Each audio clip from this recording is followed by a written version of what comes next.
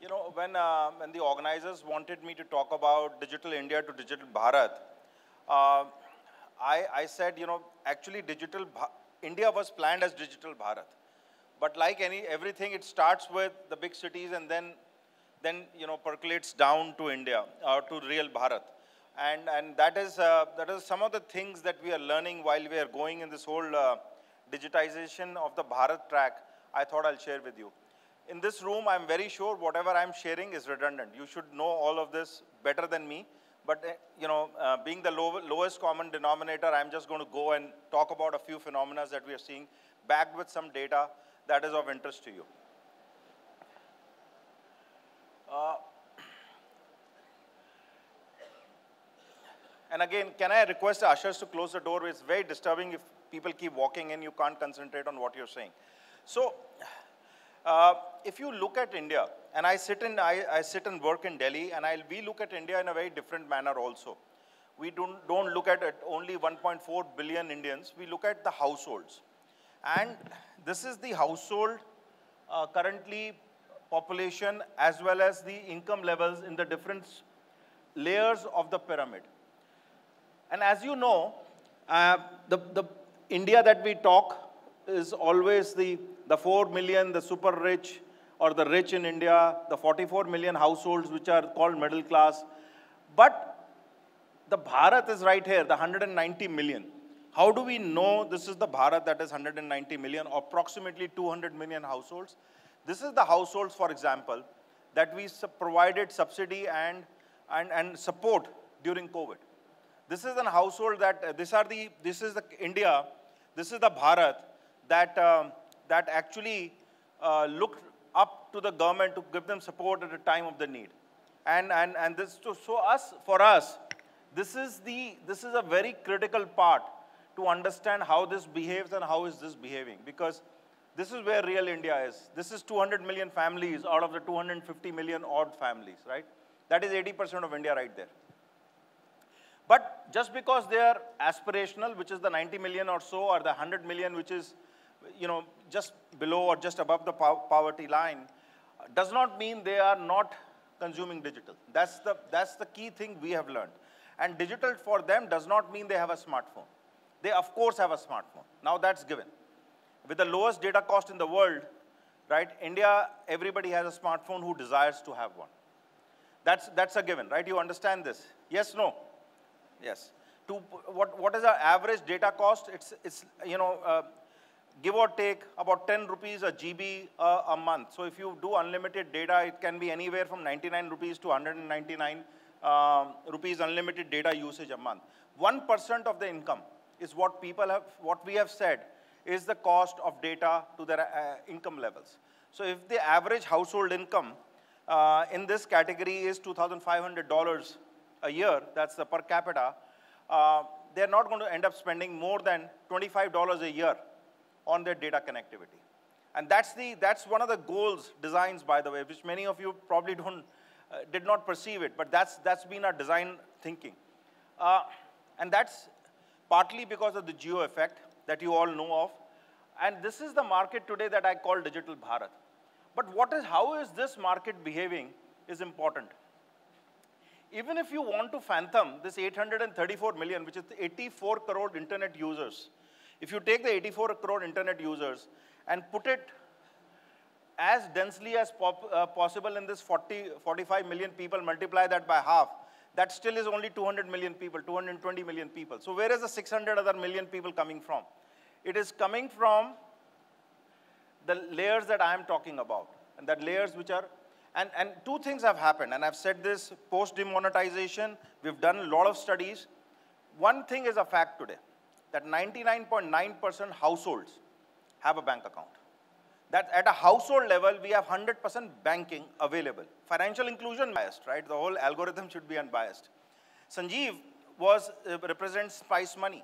If you ask him, the assisted commerce market is, uh, is not, technically will never get counted as e-commerce, but people are buying and selling through the CSC points because that's a point of trust, or the Spice Money points, or any of those points. Payment is happening by UPI, a lot of times, but transaction is not happening on a digital front. So, uh, this segment is really yearning to buy things and doing things. This is the real aspirational class. Sitting in Delhi, we, we, I can, this is a big message I can tell you. We have to watch out for their behavior. The other thing that has happened in Digital Bharat, and this is from my experience in the last six months, the D, the, during COVID, a lot of migration happened reverse, right? A reverse migration happened to the villages. Lot of it. You saw the migrant crisis, right? And during the migrant crisis, a lot of people who are very digitally savvy moved to villages. They have all become village level entrepreneurs. They're opening small businesses there. They, they, they, they were always, let's say, let's say if I was, you know, servicing an Uber uh, system, I was on a Uber Ola system in Delhi, and I've now today moved back to Jharkhand. I'm very digitally savvy. And that digitally savvy person is trying to do more and more transactions. And that's a big audience of about 50 million people we estimate, who have become the local digital champions in these village communities. And they are coming there, some of them are becoming village level entrepreneurs, they're trying to experiment with new things. So this is where Digital Bharat is moving. Uh, this is not getting recorded, right? Where is the organizer? Can, is this getting recorded? Oh, good, not bad. Actually bad. I was going to say something in uh, Vegas-style rules, but I probably cannot. How many of you see a movie, Jamantara? Have you seen the movie Jamantara on Netflix? Where is Jamantara? Where? Actually, in the hardcore Jharkhand, Bengal, Naxal belt. Why is Jamantara famous? It has great mobile connectivity. It has got great smartphone connectivity it has got zero police connectivity. Right? It's very difficult to reach there. What are, who are those people? I mean, let's call them entrepreneurs. Uh, they, they are new age entrepreneurs which are doing aggressive business from there. This is, this is what is happening in Bharat. New business models are getting developed. I, I was just trying to say that on a lighter side, so please don't get me wrong. Um, it's, a, it's a big worry for us because a lot of scams originate from there. But uh, the, the real transformation in the next two to three years is that this community is now going to buy a lot more than we can imagine. Second, from a 3 trillion economy, when we are moving to a 5 trillion economy, from a 2,500 average per capita, we are going to go to 3,500 to 3,800 per capita. The disposable income, the extra disposable income is getting spent towards education, a lot towards education. So, you know, if I am in EdTech, if I am looking at Digital Bharat from a very different perspective, there is a lot of opportunity that is lying in that segment. And, and fintechs serving that market from financing education, financing health, financing so many other things, travel, tourism, they're all taking pilgrimages. Uh, I was at Sangam yesterday, and you talk to some of these people, they are all from this category. So it's a, this is, this is a new India transacting, willing to transact, price levels different. I always say this segment, high volume business, low, no, no value, low value, but high, high, high volume. So that is what is happening to Bharat, Digital Bharat. And um, they're transacting. Great example of a nudge. And I'll leave it there after uh, a few more things and then we can have an open discussion. The great example is Mr. Gadkari and FASTag. What did we do in making FASTag available so fast throughout the country that today FASTag is the default payment mechanism on the highways. What, why did we do it as a government? I, I think you can answer that. Why did we do it as a government? Leakage was huge. So the, all these tolls operate on a revenue share basis, right? Uh, all of them. I used to be on the board of a company called Larsen and Toubro, and we built platforms, right? We built roads and so, but operation is done by somebody else. And one of the key things always was the amount of pilferage the toll operators do because they have to share revenue. So they will never report it correctly. Whatever you said. But today, what did we do? What was the nudge we said? Seven lanes, or let's say there are eight lanes, seven will be FASTag, eight will be non. So because we have to provision for cash, which, which you know is also a mandatory thing from a civic society perspective that we are excluding people. So we can't exclude people. So we have to include everybody. But the cash line is, of course, now 20 cars, and the FASTag line is zero cars, or one car. Today, I think the updated number is, if this was a startup, this was a startup, nobody can have a better hockey stick curve than this. Right from customer onboarding, five, three to five minutes, the guy is standing right there, just before the booth, if you don't have a fast FASTag, he or she will mostly, uh, boys, girls just standing before the booth. They'll give you the tag, you cross it, and then you start using it. The fastest digital experience is tied to your one of your existing wallets or your banks or whatever. And if you don't are not able to tie it, he will tie it to his thing, take cash from you, and tie it to his wallet. And then say filling ke you keep filling from your own side. Biggest revolution. But who is doing it? 98% of this traffic is rural. Truck drivers, taxi drivers. It is not the top of the pyramid. Everybody understands FASTag is the only way to pay because that's the way you will save petrol time on the road. Biggest example, Richard Thaler of University of Chicago wants to understand nudge theory. He should come here and study this. And that's what has happened. So uh, it's a, I always say it's a great example. How many, uh, how many um, and again, moving down the value pyramid is Digital Bharat. How many new um, mutual fund accounts have we opened, the stock broking accounts? Does anybody know that number? Per month, how many we add? 2 million a month. We have almost from, in the last three years, from 20 million uh, unique users uh, of demat accounts, mutual, uh, the demat accounts, we have 110 million right now. 2 million a month is being added all, and where it is coming from is this new segment, which is saving, which is trying to invest, and that's where the opportunity lies. So that's why I always say that, uh, that India is really becoming digital Bharat. Farmers are not behind, by the way. And I'm giving an example from the government. We have the largest e-mandi. While individual companies have their own e-mandi, the government of India has called e-NAM, which is the National Agriculture Marketplace, Electronic National Agriculture Marketplace. It has right now about 20 million farmers, 20 million households, farmers who are on the, and India has about 120 million farming families. 20 million are already on electronic mandi, one-sixth of that. So don't think this is, the, and, and that's the last message I will leave with. Pensioners, 70 million pensioners who are actually availing of the e-pension, the Jeevan, Jeevan Life Certificate, the Jeevan Pramaan, on uh, uh, using Aadhaar uh, life certificate, the eKYC certificate. So DBT I already talked about, and startups.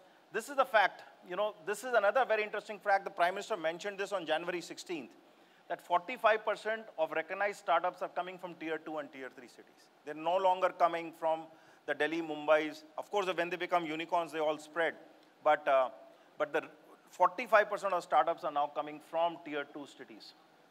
And of course, women should be happy. 44% have at least one woman uh, uh, director as a startup.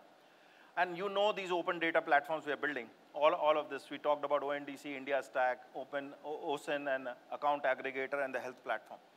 But what is really happening in India, uh, Digital Bharat is something that we all need to learn.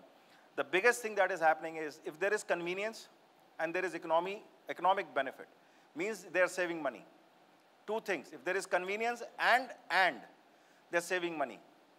If there is only convenience but no money saving, that consumption is not going to happen. But if there is convenience and saving money, Digital Bharat will consume. It's up to you to decide whether you can offer both of them to them from their local other option, the other alternative which is available to them. But they are ready, they are consuming, they have all the tools that we have always had in the cities in, in the India, but in the Bharat, every single tool that we believe that exists with us is now existing with them. So the real empowerment, real tools are with them. Uh,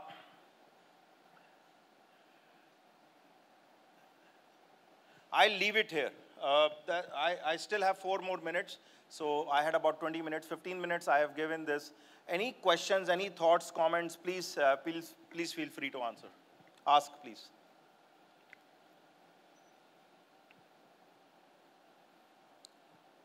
Sir, you are the uh, professor. I am actually just. Please, please, please do it. Please. I'm just joking. I'm just joking.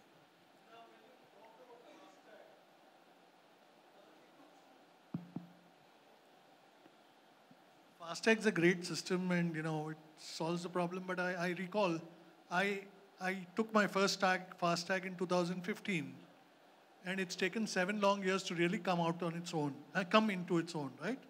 I've been always fighting at the, it never worked and all. So my only submission is, uh, whatever uh, these kind of systems, the pace of implementation should be faster. That's the only thing. Uh, you know, um, no, you are, uh, you're, uh, you're repeating or elucidating what our Prime Minister always says. Speed, scale, size, right? This is exactly what his thing is. There are certain moments that happen that things accelerate just crazy, right? And, and I think we have to wait for those moments. This is, our, this is the moment, FASTag took two and a half years before uh, Mr. Gadkari came and made this good nudge or a negative disincentive for people not to take the non-FASTag lane, and it worked. And today it's gone, right? Everybody came came together, the ecosystem came together, the feet on, uh, feet on street came together, and it's all all enabled, right? Uh, but your point is right. I mean, whether it comes to ONDC or now many other things, scale is the most important thing, and scale bottom up, not top down. So digital Bharat is all about top uh, bottom up, not top down. But good, thank you, sir.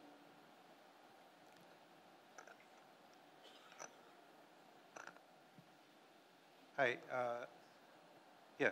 Yes, please. Shudipta Roy from ICICI Bank. So one uh, question on pricing of transactions, right? Now, we took a decision to make transaction pricing free both on UPI as well as on RuPay credit cards. Uh, but however, if we look at uh, markets which have adopted UPI later than us, like Brazil, they left pricing discovery to the market. And the pricing discovery in Brazil is now at 62 basis points per transaction on PIX. And PIX is actually, if you look at the statistic mark to mark, PIX is outperforming UPI, right? So what is the thought process around pricing? a very important policy question, very important policy question. Uh, I think, uh, I mean, his question is less than 2,000, should we start charging the UPI payment, the P2, even the merchant to uh, uh pay, uh, merchant to person. P2M, yeah. So, what, Whatever those P2M payments are, should we start charging? I, I, personally believe, I think India, I, I don't consider Brazil, uh, they, they have their own rights to do whatever their systems are. I think if you ask this question to the government or to NPCIL, they're kind of content with what they're making with the other transactions. So I know this is a contentious issue with the banks and, the, and many other players, but uh, I think policy-wise, we want to keep that lowest. Let me leave it there. Uh, so that this, this bandwagon that we are on does not get disrupted. Where the, where the harmonization of the price points will happen, I think we'll all have to sit together and work on that. Maybe we'll have to play around a little bit and see how we do it. Uh, for example, um, whether that's 25 bips or that's 50 bips or 30 bips and still makes sense for the consumer as well as for the merchant, we shouldn't, okay, again, uh, I know it's getting recorded, we shouldn't be another rent-seeking thing that first started free and then started charging arm and a leg. So we have to be very cautious from a policy hat uh, when we do that. You, you understand what I'm saying, right? Yes, yes, absolutely. Yes, please. Hello. Yeah, you, we can hear you. Hi, Karthik from Multiple. Uh, so you mentioned that data costs, extremely low data costs were one of the key enablers. But if the data costs rise, so now we are seeing in the results of the listed companies, they are rising. So would, I mean, once these, this cohort has tasted the blood, what's your opinion? Would they cut some other costs, but this becomes a good, necessity? Good question, Karthik. 1% is the criteria. I said that. So if their income levels are going up, they, they would, they, would, they would be okay. If it is, income levels are not uh, commensurate with the cost, then I think they will make some cuts. With other some spend, this has become essential. It's air, wind, and water and network now, right? Thank you. But remember, it's 2,500 also going to 4,000 we won't become 5 trillion without it becoming 3,700 so uh, per capita. So with, with, per capita, you have a little bit of scope. Um, and then the telecom companies have to invest in their 5G, hopefully 6G network. So that is, I mean, I think we have to balance again, but I think that's where it will go. A little bit up, upside, I can see the te telecom tariffs going up. But still, we are the lowest data market in the world. And please, my friend Motana is in the other room, you ask him, how much you pay in Jordan? which, which is probably what, 12,000, 15,000. What is Jordan's uh, per capita? Can you search what is Jordan's per capita?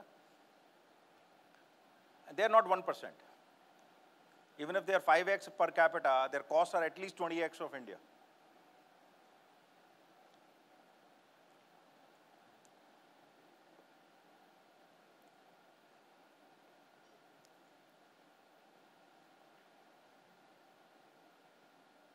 what, whatever that is, we'll discuss offline, but that's, that's my gut feeling. Any, any other comments, questions, please, suggestions?